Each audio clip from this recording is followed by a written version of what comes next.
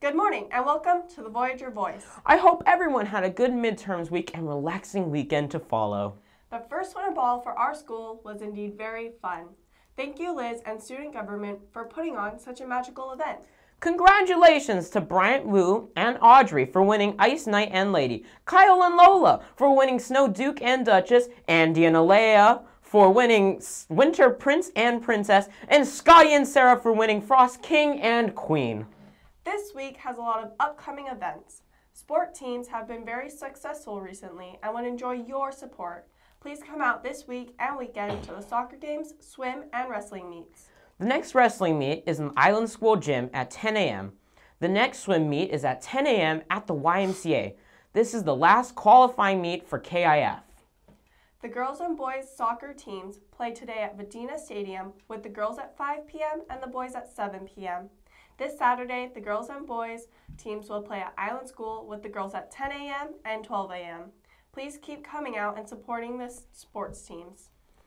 Applications are now being accepted for 2016 Ethan Shell Scholarship. The Ethan Shell Scholarship is an award for up to $1,000. If you are planning to attend college and pursue a passion in performing arts, then you should apply today.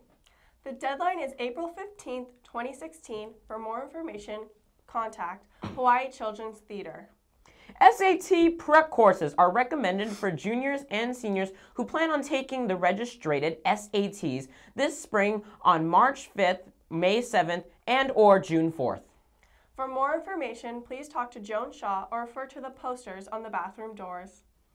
This Friday is the Island School birthday. The assembly will be held at the Wilcox Gym at 10, 8, 10 a.m. The event is open to students, parents, friends, and alumni. After the assembly, the students of Island School will be sent out to give their ho'okupu. Freshmen are going to the Y International Center, sophomores are going to Hanchett Ranch, juniors are going to Makalanani, and seniors are going to Makauwahi Cave Reserve in Mahaulepu. And that's all the news we have for today. Thank you all so much for tuning into the Voyager's Voice, and we hope to see you next time.